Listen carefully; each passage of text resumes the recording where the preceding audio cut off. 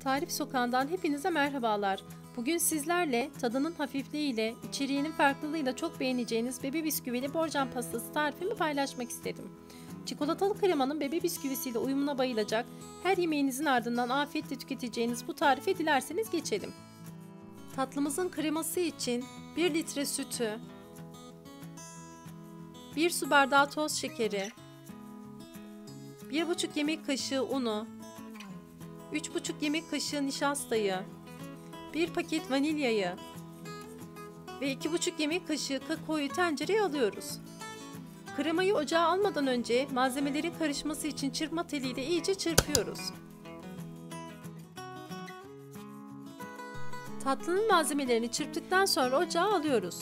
Orta ateşte süt ısınıp unun, nişastanın ve kakaonun dağılması için aralıksız olarak çırpmaya devam ediyoruz.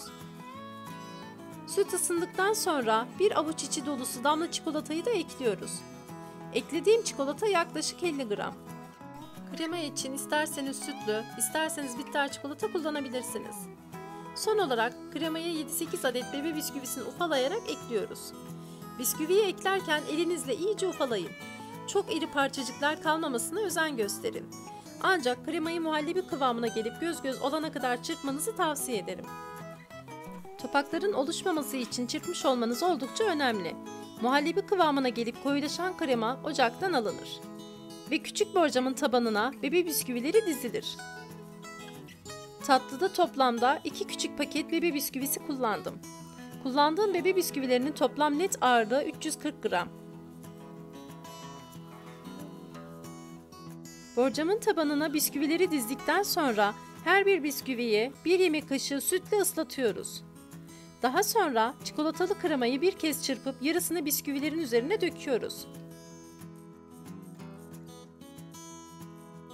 Kremanın üzerine düzleştirdikten sonra tekrar bisküvi diziyoruz.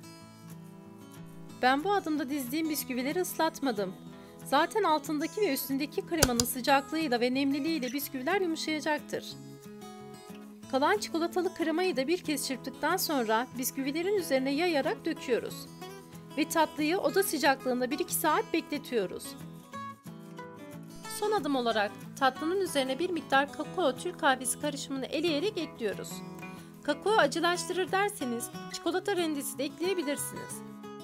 Üzerinin süslenmesi tamamen isteğinize ve damak tadınıza bağlı. Üzerine Türk kahvesi ve kakao karışımı eleyerek sıradan tatların dışında bir tat yakalayabilirsiniz. Hafif mafif tadıyla çikolatalı ve bebe bisküvili tatlı sevenlerin yeni favorisi olacak bu tadı denemenizi kesinlikle tavsiye ederim. Deneyenlere şimdiden afiyet olsun. Tarifimi beğendiyseniz videoyu beğenmeyi, kanalıma abone olmayı, değerli yorumlarınızı paylaşmayı unutmayın.